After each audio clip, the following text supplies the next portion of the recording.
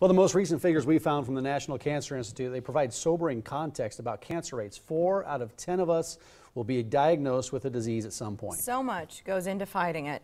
Um, one organization has really dialed in to give cancer survivors support in ways that aren't addressed elsewhere. Yeah, Michael Merritt and Asia Pelser, they're here with that organization this morning. Good it's to nice see both to have of you. you here. Thank you. Good morning. Yes, and you know I got a little criticism from Mary. She goes, "Where's your yellow?" I said, "It's in my pocket square." She wanted me to wear a big, bright Well, yellow we wanted, jacket we wanted something. you to know to, we, we support what you're doing. We do support it, but I don't feel you. bad because you have a tasteful yellow on your shirts as well, so I, I'm okay. But We uh, know what that is? a lot of people don't care for yellow, so we do try to accent. I like yellow. I do like yellow for the Lashes record. Just Yeah. Uh, but what is Wear Yellow Nebraska? We're a local cancer nonprofit, and as you said, most people know us for our cab ride program. Uh, so we kind of specialize in providing transportation to and from treatment for our fellow Nebraskans in the fight against cancer. How does the RIDE program work when someone's diagnosed and they need your help?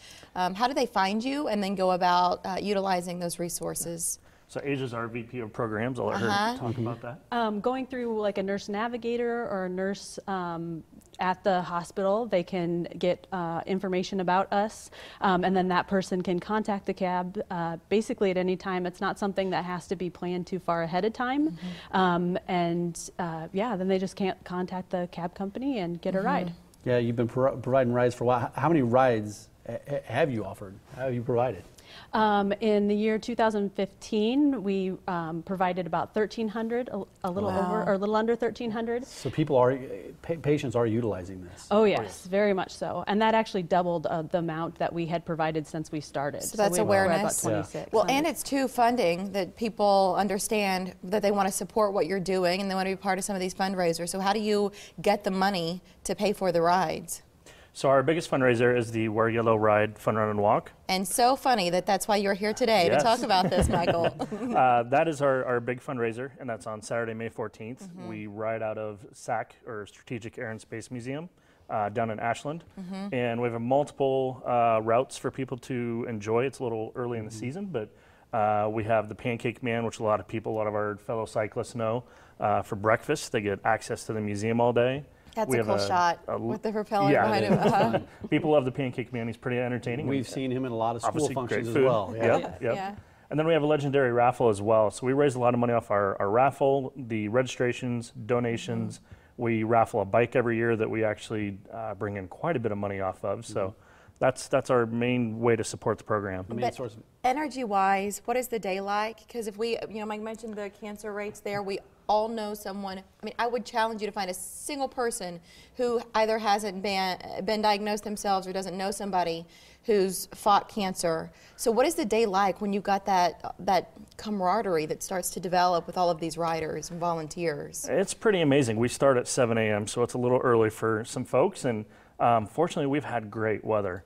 Um, but the energy is just a great positive. I mean, the cycling community is pretty tight in the area, and we really draw from all over Nebraska, Iowa, Kansas. So it's not even just Nebraska or local cyclists, uh, runners and walkers, but we're really getting the region involved.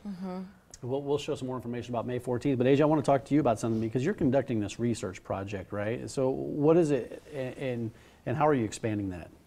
So what we're looking at is um, we really want to be able to represent the entire state of Nebraska, and our programming right now is kind of an urban um, answer to a, to the problem of getting people rides to um, their treatment. And so, because of that, we really want to understand a little bit better what survivors in the rest of the state need outside of the Omaha, um, Lincoln, Fremont area. We are expanding our program to Lincoln in probably the next year or so, um, but we really want to go all the way across the state. So, understanding better what uh, what needs people on the other side of the state. Other How would you rest of the state facilitate that? Because they don't have cab companies in some more rural areas. So would you be looking for volunteers, or how would you execute it? Possibly, the first thing we want to find out if that is really a problem in Mm-hmm. rural areas. It's possible that communities band together and that that's just not an issue that they have, but there's maybe a different gap that needs to be filled. Mm-hmm. In which case, that's something we could focus on. Well, I like that because it's not we're yellow Omaha. You know what I mean? Exactly. If Nebraska's in the name of the organization, that you start to look at serving cancer patients Exactly. from But you Scotts are- Bluff to Falls City. You know. But you are looking toward Lincoln right now.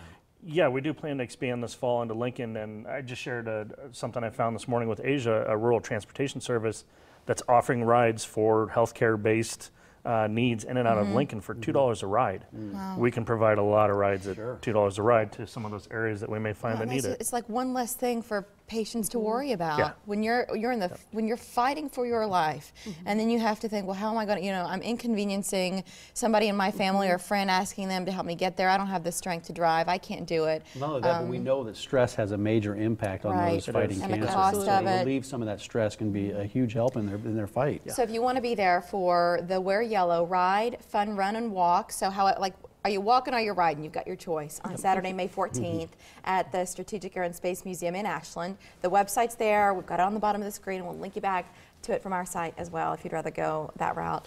Thank you both. It's Sure, good thank to you. see Good you. Good to see you guys. We Thanks for appreciate it. Uh, happy